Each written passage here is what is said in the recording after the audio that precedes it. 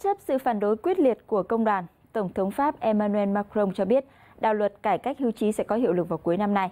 Phần tranh cãi nhất của đạo luật đó là nâng tuổi hưu từ 62 lên 64 tuổi và điều này đã khiến cho xã hội Pháp tiếp tục căng thẳng.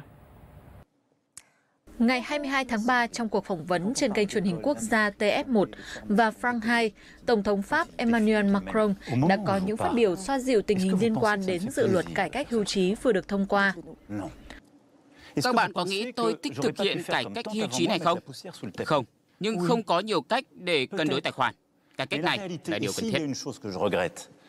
Tổng thống Pháp khẳng định muốn lắng nghe sự giận dữ của người dân để đưa ra những giải pháp thỏa đáng nhất, nhưng đồng thời ông cũng tuyên bố loại trừ khả năng giải tán quốc hội, cải tổ chính phủ hay thực hiện trưng cầu dân ý về luật hưu trí và đặc biệt là rút dự luật theo đòi hỏi của các nghiệp đoàn và các đảng phái đối lập.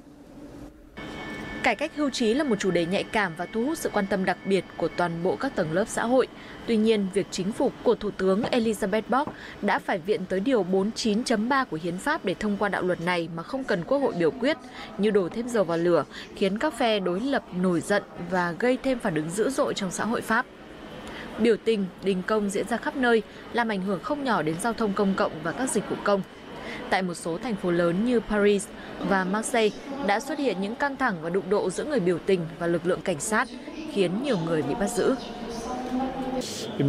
Tôi nghĩ rằng chúng tôi đã cố gắng thể hiện nhiều điều bằng cách xuống đường. Thật không may, cho đến bây giờ, chúng tôi không được lắng nghe.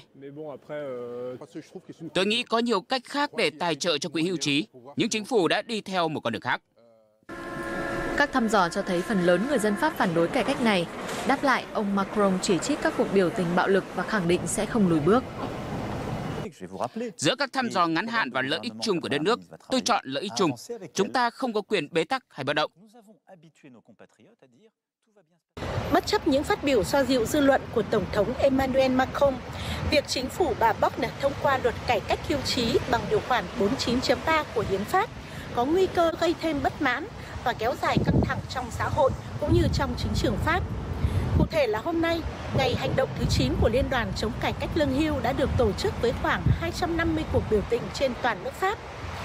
Để đảm bảo trật tự trị an, Bộ Nội vụ Pháp cho biết đã huy động 12.000 nhân viên cảnh sát và hiến binh tại các thành phố lớn, trong đó riêng ở thủ đô Paris đã là 5.000 người. Thu Hà, phóng viên Thông tấn xã Việt Nam tại Cộng hòa Pháp.